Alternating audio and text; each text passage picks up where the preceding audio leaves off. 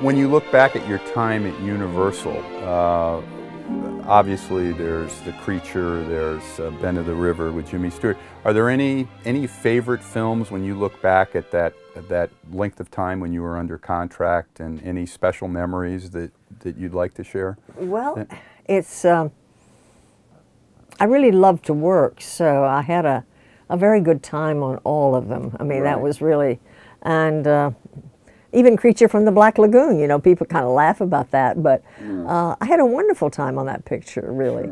Uh-huh. Uh, and and Jack Arnold was such a good director, and so on, and uh, and then the people I got to work with, as we've just talked about some of them. So that was it was really. Uh, I, I, I feel badly for some young actresses today because I don't think that system is there anymore. No, it's it's long gone. Yes. It's long gone. What did you feel like when what happened? Did Universal like not renew your contract and they started shedding their contract players as the studio system came to an end and you were It one of those? What did it feel like to have that protective umbrella of the studio pulled away and then That's hey, right. you're on your own and you have an agent and That's the phone right, needs to that's ring. right. How did how did that how did you adjust to Well, it was it was hard to lose my home base, you Sure. know, so to speak. Sure. But uh, then a lot of interesting things were happening in television.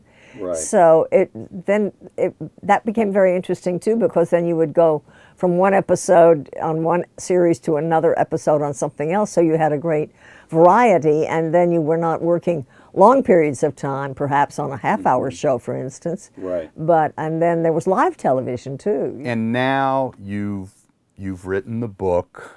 Uh, you are uh, seemingly every convention, uh, horror convention and fantasy convention. You are there. Uh, you've You been make me tired to hear about it.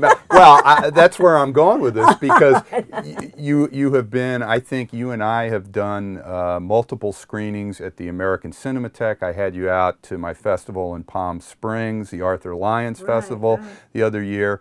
And you're keeping a schedule that seems to outstrip the early morning calls uh, 58 years ago at Universal. What's next, and how do you keep doing it?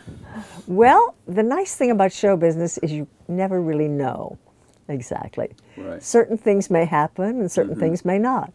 And uh, so I think you just kind of keep the, the door open and see what happens. Mm-hmm. And if things don't happen, I have a lot of other fun things I can do too, like stay home and put my feet up, you know? Mm-hmm. So mm-hmm. I think if I had to, I, I think if I had to give you a motto, Julie, I would say, Julie Adams, smile, life is good. oh, oh. Thank you so much. well, thank you so much for having me.